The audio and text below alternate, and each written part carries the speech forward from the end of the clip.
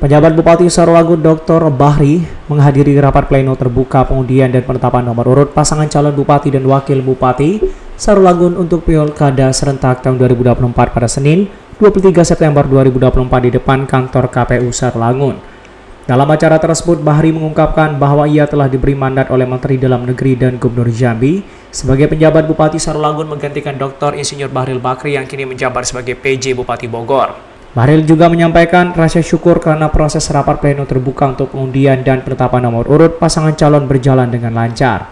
Lebih lanjut, Bahril menegaskan bahwa para kandidat calon bupati dan wakil bupati Sarolangun memiliki niat yang sama untuk memajukan dan meningkatkan kesejahteraan daerah yang menjamin netralitas ASN Kabupaten Sarolangun dalam pilkada ini.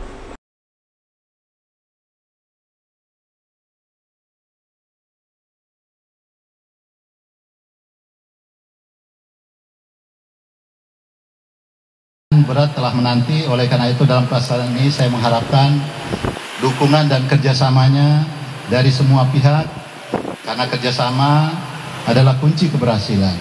Terutama tugas saya memastikan pemilu ya pilkada dilaksanakan secara tertib, aman, terkendali, sesuai dengan tahapan jadwal yang ditetapkan oleh KPU kita dan diawasi oleh Bawaslu. Proses pengundian penetapan nomor urut pasangan calon Bupati Wakil Bupati Sorolangun 2024 telah berjalan dengan lancar dan Kabupaten Sorolangun saat ini telah resmi memiliki lima pasang calon.